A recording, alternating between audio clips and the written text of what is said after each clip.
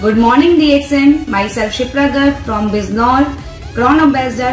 My husband Mr. Bharat Garg.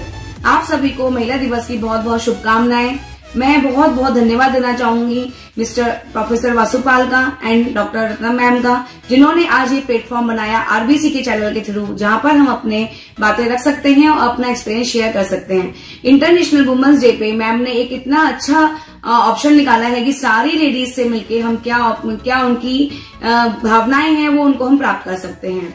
So thank you to all मैं आप सबको बताना चाहूँगी कि मैं कैसे डीएक्शन में आई और कैसे मैंने डीएक्शन में काम शुरू किया। मैं सबसे पहले अपने सारे अप्लायंस का धन्यवाद करना चाहूँगी और अपने एसोसिएट्स का धन्यवाद करना चाहूँगी जो हमारे साथ मिलकर काम कर रहे हैं, एक परिवार की तरह काम कर रहे हैं। ये सब मैंने सीखा डीएक्शन में आके कि कैसे एक परिवार हम डीएक्शन मिलकर काम करते हैं। 2007 में शादी के बाद मैं डीएक्सन में आई। मैंने डीएक्सन में आके दो महीने तक प्रोडक्ट्स यूज़ किए, उसके उसके रिजल्ट्स लिए और लोगों से मिलके उनको समझा। कैसे समझा? मेरे हस्बैंड ने मुझे as a customer as a consumer products के बारे में समझाया और बताया कि कैसे ये काम करते हैं। और मैंने सबसे ज़्यादा नॉलेज ली मीटिंग से। मीटिंग से कैसे नॉलेज ली? मैं शादी के एक महीने बाद से ही मीटिंग्स में जाना शुरू कर दिया था। और मीटिंग्स में जो लोग वहाँ बताते थे, वो समझती थी। आप जानते हैं, मेरे हस्बैंड का उस समय 2007 में ही एक यूज़ नेटवर्क था, जिसमें वो काम कर रहे थे। बहुत सारे लोगों संग एसोसिएट होकर वो काम कर रहे थे। और वो जब मैं देखती थी, जब मैं देखती थी मीटिंग में जाके, इतने सारे लोग आके वहाँ काम कर रहे हैं, वहाँ बोल रहे हैं तो मुझे विश्वास आता था। जैसे सब जानते हैं, अगर घर का कोई बंदा, कोई परिवार का आदमी बोलता है, हमें लगता है कि अच्छा बोल रहा है। लेकिन जब सामने कोई बोलता है तो लगता है सच्चा बोल रहा है। क्योंकि सच्चाई छुपती नहीं है और रटवाई नहीं जाती है। आप जो मन में आता है, वो आप बोलते हैं। जैसे मैं आज जो बोल रही हूँ, सच्चे दिल से बोल रही हूँ और अपने भावनाएँ बता रही हूँ। सो so, मैंने वहाँ बहुत कुछ सीखा और फिर मुझे लगा कि मुझे कुछ करना चाहिए क्योंकि मैं एक इंटरप्रेन्योरशिप लेडी हूँ। मैं चाहती हूँ कि मैं अपना कुछ कर सकूँ करूँ क्योंकि मैंने फ़ैशन डिज़ाइनिंग किया हुआ है एक डिज़ाइनर हूँ काम करना चाहती हूँ लेकिन क्या काम करूँ? फिर मैंने डीएक्सएल में समझा कि हम एक अच्छा काम कर सकते हैं और बहुत अच्छे से काम कर सकते हैं।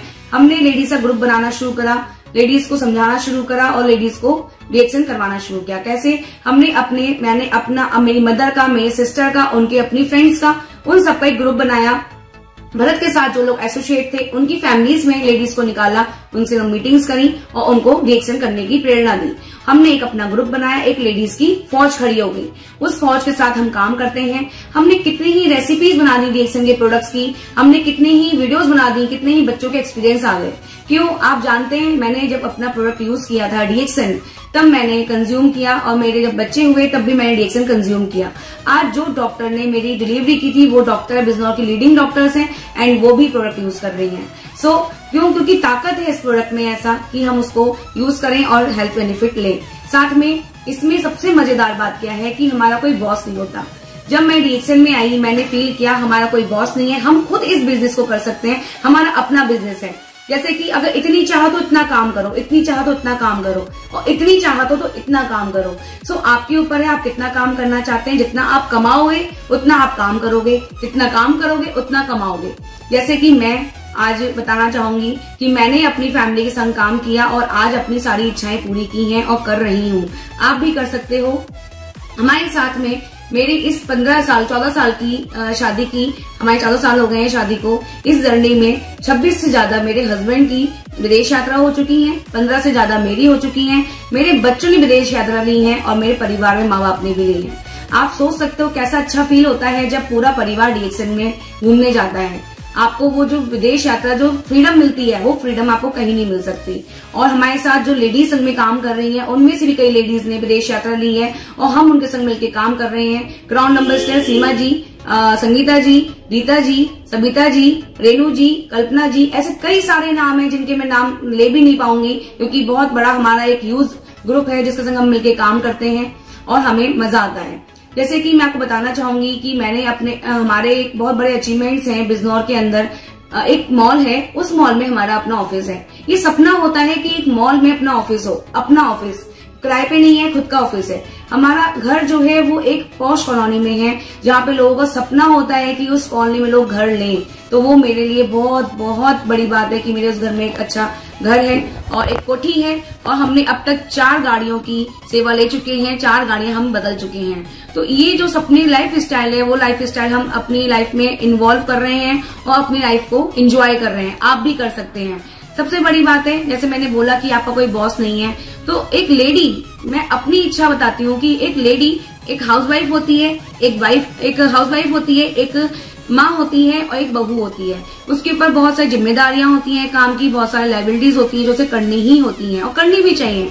लेकिन अगर हम कोई जॉब करते हैं या हम कोई काम करते हैं तो हमें एक बाउंडेशन हो जाती है कि हमें इतने ही टाइम में काम करना है और हम इतना ही काम कर सकते हैं। बट डीएक्सएन में आज मेरे बच्चों के एग्ज़ाम है तो मैं फ्री हूँ। उस समय मैं काम ना करूँ, चलेगा। अगर मेरे पेरेंट्स कहीं बाहर जा रहे हैं तो ज़रूरी नहीं है कि मैं उस समय काम करूँ। मैं अपनी सुविधा के अकॉर्डिंग अपने समय से काम कर सकती हूँ और आप भी इस तरह से कर सकते हैं। तो मैं चाहूँगी कि आप सभी लोग एक साथ एसोसिएट होके काम करें और मैं आपको कुछ चंद लाइनें बताना चाहूँगी, जो एक जब मैं काम करने निकली मैंने अपनी लाइफ में चैलेंजेस देखे या मैंने अपनी लाइफ में सीखा एक छोटी सी बात और मैं इसमें बोलना चाहूँगी जब हम काम शुरू करते हैं जब मैंने आपको बोला ना कि मैंने अपनी बहन मम्मी और उनकी सिस्टर्स उनकी फ्रेंड्स को ऐड किया जब हम काम शुरू करते हैं शुरू में तो हमें थोड़े चैलेंजेस आते हैं। क्यों चैलेंजेस आते हैं? जब तक आपको जब तक आपको ठोकर नहीं लगेगी आप चलना नहीं सीखोगे। उस पर ही मैं पंक्ति सुनाना चाहूँगी।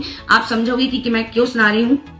जब मैं निकली अपने सपने पूरे करने जब मैं निकली अपने सपने पूरे करने, अंधेरा था चारों ओर, अंधेरा था चारों ओर, जब, तब अंधेरी रात ने मुस्कुरा कर कहा, मैं भी चली जाऊँगी, मैं भी चली जाऊँगी, बस एक प्रयास करके तो देख।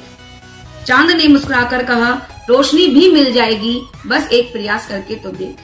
टिमटिमाते तारे बोले, मिल जाएगी मंजिल तुझे, मिल जाएगी मंजिल तुझे, बस एक प्रयास करके तो देख। नन्ने नन्ने जुगनू बोले, हम तेरे साथ हैं हम तेरे साथ हैं, बस एक प्रयास करके तो देख सुबह का सूरज बोला, चमक जाएगी दुनिया तेरी, बस एक प्रयास करके तो देख। कल कल करती नदियाँ बोली, बुझ जाएगी प्यास तेरी, बस एक प्रयास करके तो देख सुबह की चटकती कली बोली, महक जाएगी ज़िंदगी तेरी, बस एक प्रयास करके तो देख इनकी बात सुनकर अंदर से एक ही आवाज़ आई, एक ही आवाज़ आई, बस एक प्रयास करके तो देख, बस एक प्रयास करके तो देख। Once more once more and once more so so, अगर आप अपनी लाइफ में ये चीज़ समझ जाओगे कि हम जब काम शुरू करते हैं कुछ कठिनाइयों के साथ कुछ चुनौतियों के साथ तो वो आके जाके एक मुकाम पाता है जो हमने पाया है। तो मैं सबको धन्यवाद करना चाहूँगी, अपने साथ काम करने वालों को, अपने अपलाइंस को प्रोफेसर सर को एंड डॉक्टर मैम को और आरबीसी चैनल को जिन्होंने हमें प्लेटफॉर्म दिया। आप सभी को महिला दिवस की बहुत बहुत शुभकामनाएँ और आप रिएक्शन में आके अपने सारे सपने पूरे कर सकते हैं, जैसे मैंने किए हैं, मेरे परिवार ने किए हैं और कई कई लेडीज़ हमारे साथ मिलकर काम कर रही हैं और अपने सपने पूरे कर रही हैं। Thank you to all